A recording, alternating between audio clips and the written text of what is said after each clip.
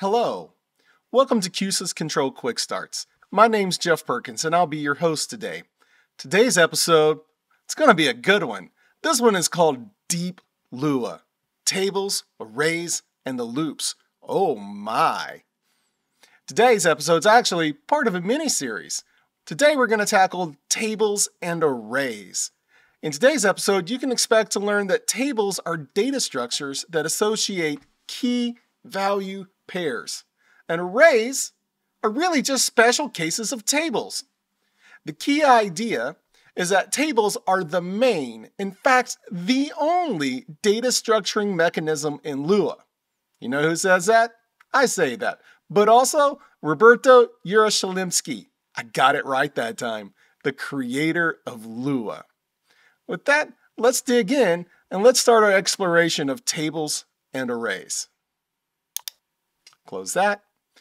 And let's open this particular script. I've already zoomed in. Hopefully this is going to work out well. The first thing to know about tables is how do you make them?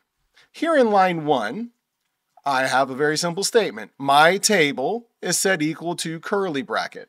The curly bracket is called the table constructor. That's how you make a table. In fact, for the nerds, uh, these tables are anonymous, and my table is actually an identifier that is a pointer at the table. But for our purposes, it's enough for us to think of my table is this curly bracket. And in fact, if we were to ask Lua what kind of thing is my table? Here it is. Lua says that there is a table, which is exactly what we thought it was going to say. The big idea here is that what do we use tables for?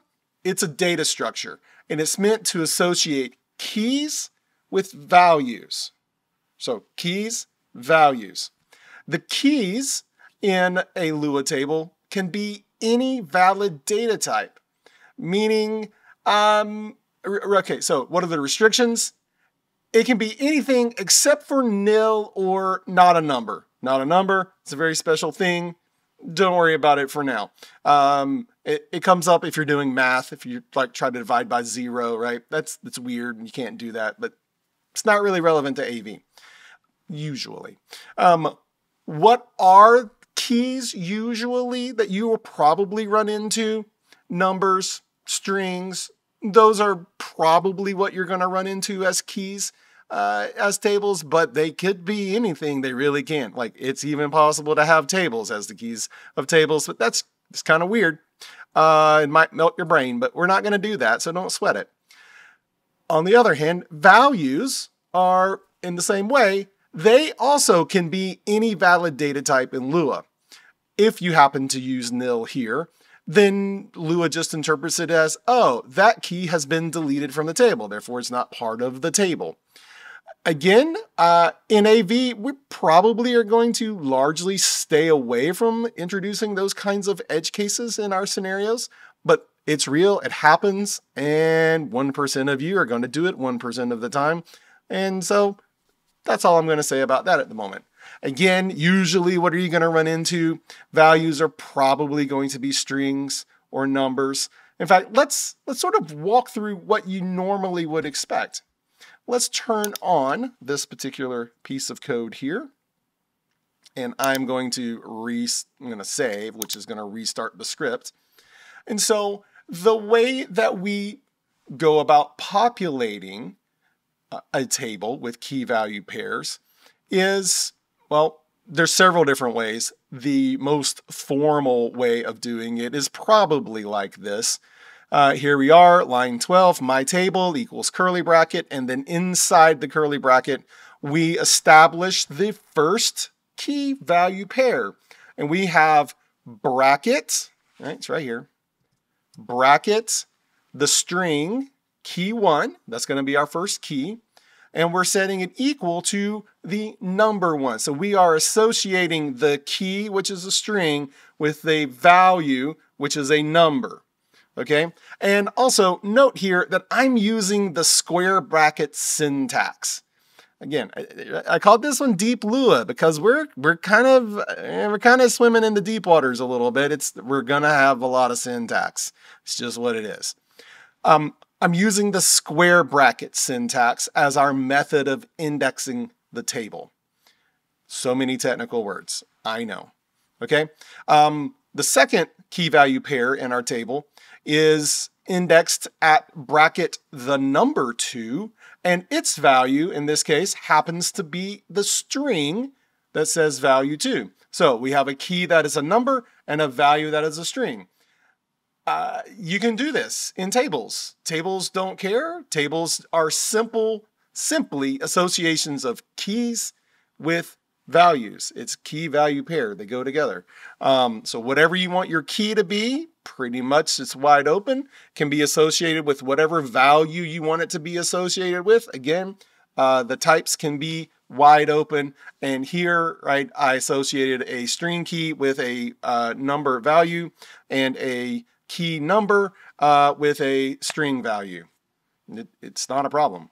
Uh, and of course, if I want to print them, I can print them out. and this is a very common way of doing it. Again, I am indexing using the square bracket. So my table square bracket key one, notice what it does, right? When you stick the key into the table, it automatically gives you the value. So when I stick in, right, here we are. When I stick in the string key one, I get out the value one, which indeed is a number. Run it through the type function. That's all it is. Running it through the type function for it to tell me what it actually is. Because in the debug window, it's hard to know. They all look the same. Um, all right, similarly, line 18, when I print key 2, I get the string value 2 works exactly the way we think it should work. Let's keep going. Uh, as we look at tables, let's clear the debug window and let's hit save again because that just restarts the script. Let's look at line 25. Line 25 says my table dot key 3 equals the string value 3. Here, I've made use of a slightly different indexing method. This is called the dot method, and it's offered as syntactic sugar by Lua. It's kind of nice. Uh, technically, what we've done is we have created a third key value pair in the table, and we have used the string, key 3, to be the key, and it's associated with the string value 3. And once again, when I go to print, um, notice I can I can I can index the table using the dot method, as I've done here, or by using the square bracket method. They're both valid. They both work. In fact, the square bracket method always works. There are a few restrictions on the string method, and we'll be covering that very soon. Okay? Uh, let's come down and let's turn on this next little piece of code and restart the script uh, as we save it. And so here we are, um, line 33, my table.key4 is a function. It has a function as a value. Now, that might feel a little weird, but actually it's a very common thing to do in Lua. We can make a table that associates a string key or whatever. I mean, it could have been any key, right? It could have been four, the number four is the key. It doesn't matter, right? The point is, is that we can have tables that have functions as values. It's no problem. It's kind of neat. In fact, it's really neat. And again, it is actually really, really common. And so here we are. My table key four is uh, a function, just like I told you it was. And lastly, uh, here in this particular script. Let's turn on that, do that, and do that. And now let's look at sort of a last uh, sort of example of common things that you'll see as you use tables in, in Lua, in AV programming. Um, my table.key5 is,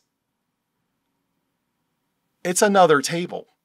It, this key has a table as its value. And in fact, here we are. Square bracket string key 5.1 is value uh, dot 5.1. And uh, key 5 underscore 2 is value 5 underscore 2. Of course, both the keys and the values here are strings, um, as you can plainly see.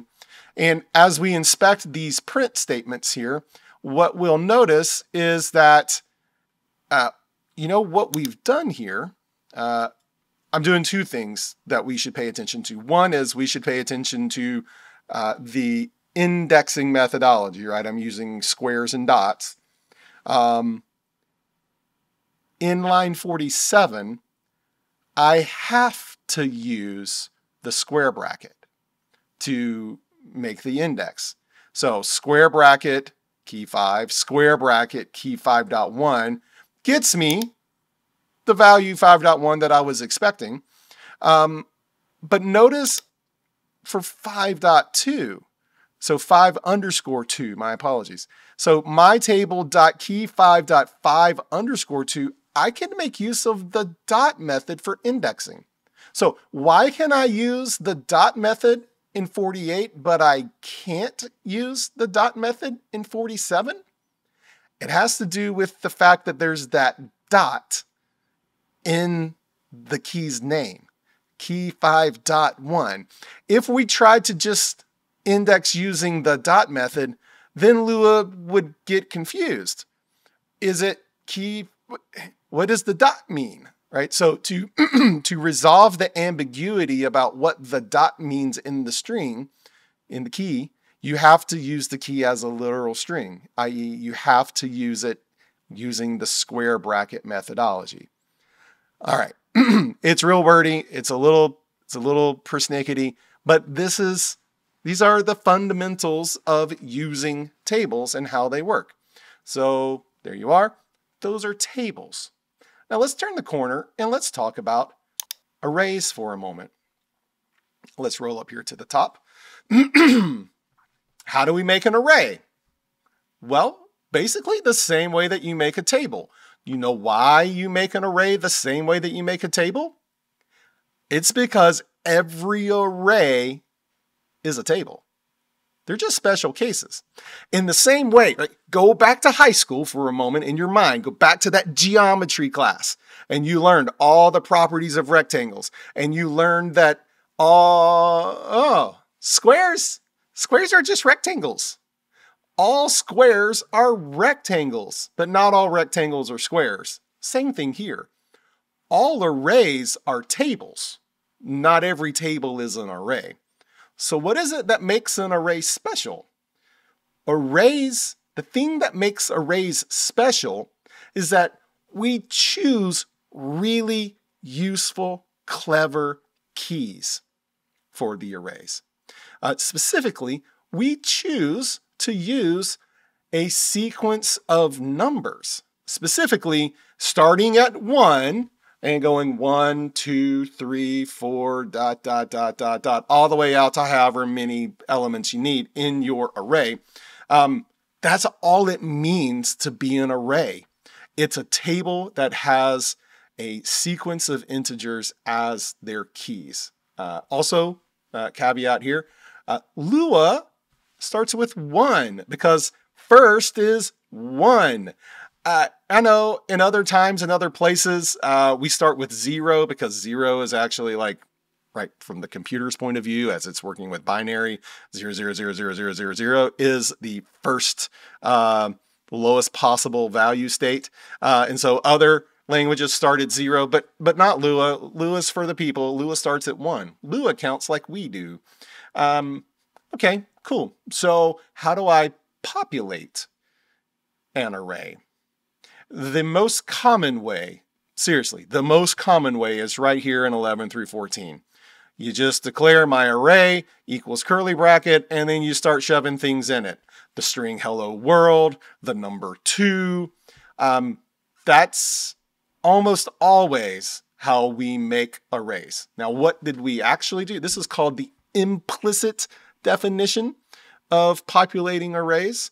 Uh, because if we look at 17 through 20, line 17 through 20 right here, what we'll see is that Um, I have declared my array is uh, equal to curly bracket. Bracket 1 equals the string hello world.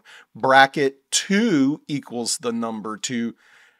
These are the same. These two, right? My array in 11 and my array in 17 are equivalent. They they are the same. I just I had to type less uh, when I did it implicitly than when I did it explicitly. The point, though, is that they are equivalent. It's two ways to get to the same conclusion. Um, we are just implicitly saying key number one is value string hello world, and key number two is value number two. They're the same. They're totally equivalent. So, um, how can I, are, are, there shortcuts to adding to it? You betcha. Okay. Line 22 uh, is a very common way of adding uh, key number three to my array. So my array bracket three is I'm Batman. Of course, right? Um, because it's, why is it the string I'm Batman? Because I made the video and I wanted it to say I'm Batman because wh- why, why are you asking those questions? Those are not the questions you should be asking. So lastly, of course, we can access values within the array by indexing with the keys.